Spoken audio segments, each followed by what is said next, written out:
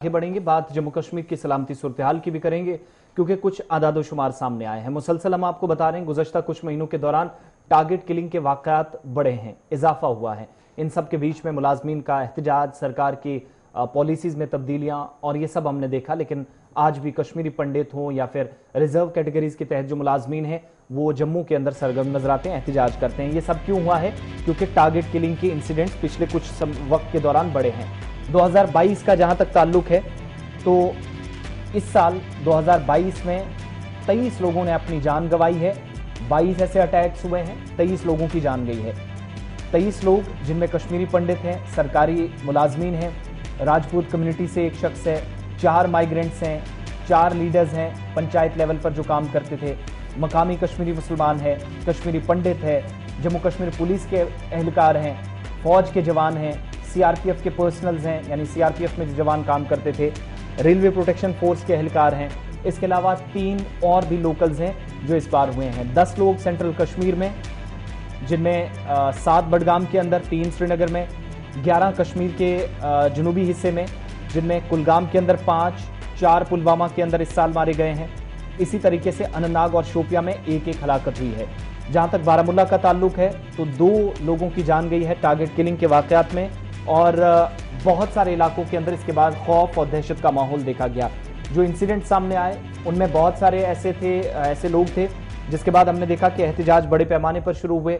सरकार ने बड़ी तब्दीलियाँ भी की, लेकिन एहतजाज थमे नहीं। जनवरी इसी महीने की, इसी साल की बात करें तो जनवरी की उनतीस तारीख को अली मोहम्मद गनई, जो कि पुलिस एहलकार था, घर के बाहर हसनपुरा, साउथ कश्मीर के अनंतनाग ज़िले में उसे निशाना बनाया गया, जान चली गई।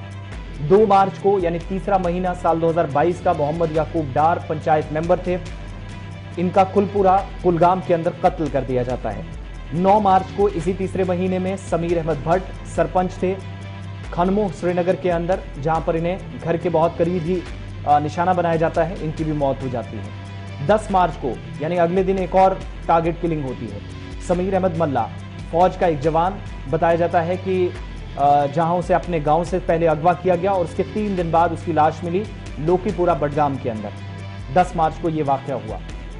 12 मार्च को शबीर अहमद मीर, सरपंच थे, अडूरा, कुलगाम से इनका ताल्लुक। इसके अलावा मुख्तार अहमद, जो सीआरपीएफ का एहलकार था, छोटीपुरा, शोपिया का, इन बताया जाता है कि ड्यूटी से वापस गए, लेकिन ये घर जाना इनका आखिरी बार साबित हुआ। इसके अलावा तजमुल मोहुद्दीन डार, गुटपुरा बडगाम यानी सेंट्रल कश्मीर में 21 मार्च को उन्हें टारगेट किया जाता है। 26 मार्च को Ishfaq Ahmad special police officer और उनके भाई उमर अहमद ये दोनों एसपीओज थे। आ, इनको चटबुक पुलवामा पुलवामा माफ़ कीजिएगा बडगाम के अंदर घर के बाहर निशाना बनाया जाता है। इसी तरीके से 4 अप्रैल को विशाल कुमार नाम का एक सीआरपीएफ एहलकार जिसको अपने साथी समेत मैसूमा श्रीनगर के अंदर जख्मी किया गया। बाद में विशाल कुमार ने आखिरी सांस ली अस्पताल में इलाज के दौरान। तेरह अप्रैल को साल 2022 में इसी साल सतीश कुमार सिंह राजपूत कम्युनिटी का एक मेंबर काकरन गाँव में कुलगाम, साउथ कश्मीर में इससे टारगेट किया गया। इसी तरीके से 15 अप्रैल को मंजूर अहमद बांगरू सरपंच थे गोशबुक पटन बारामूला, नॉर्थ कश्मीर के अंदर इन्हें टारगेट किया गया। इनकी मौत हो गई। 18 अप्रैल को सुरेंद्र सिंह और देवराज, सीआरपीएफ के दोनों एहलकार थे। दोनों पर गोली चलाई गई काकपुरा रेलवे स्टेशन पर, जबकि सुरेंद्र सिंह ने आखिरी सांस ली। मौके पर ही उनकी मौत हो गई, जबकि छह दिनों के बाद राज देवराज जो थे, उनकी भी मौत हो जाती है। यानी दोनों 18 अप्रैल के इस इंसिडेंट में अपनी जान गंवा देते हैं।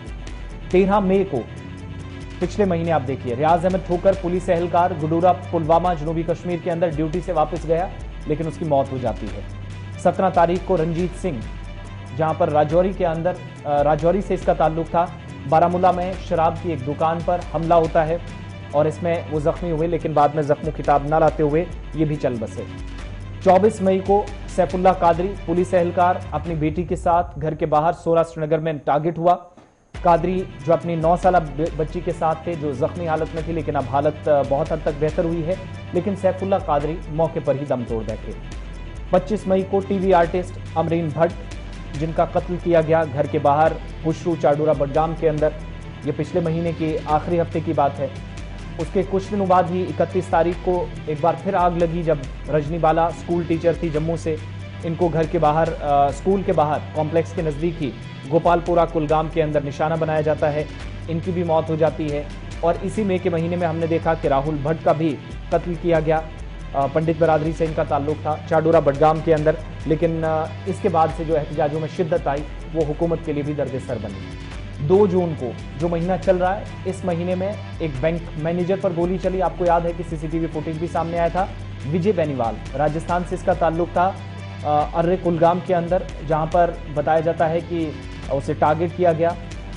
इसके अलावा दिलकुश कुमार, बिहार से एक मजदूर, उसे भी अपने साथी के साथ मागरेपोरा, चाडोरा, बडगाम के अंदर ईंट का भट्टो ईंट के भट्टे के बाहर, जहाँ उसे टारगेट किया जाता है, वहाँ उसकी मौत हो जाती है। तो पुलिस आम शहरी मुलाजमीन मकामी गैर मकामी तमाम लोग इन हमलों का शिकार हुए हैं।